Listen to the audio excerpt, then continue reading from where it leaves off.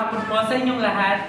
Narito po tayo ngayon upang makipanayam sa isang sikat na mga awit na si Ginang Regine Velasquez Alcacid. Hello po! Magandang hapon sa inyo. Magandang hapon. Kamusta naman po? Ah, ito mabuti.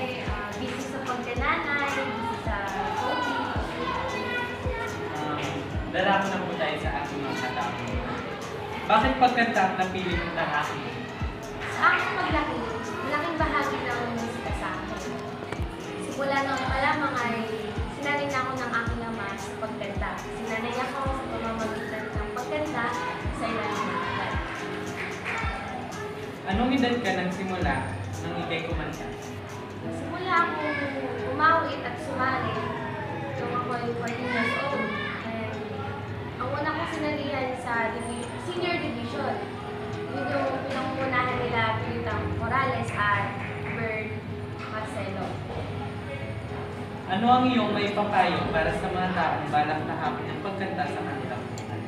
Ang may papayo ko sa mga may pangarap na kumanta, maging singer, ah, unang-una sa lahat ay maging disiplina, disiplinado, at matutong magsumikap sa bawat pagsubok na haharapin.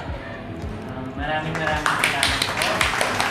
Ginang Regine Velasquez Alcacid. At dito po nagtatapos ang ating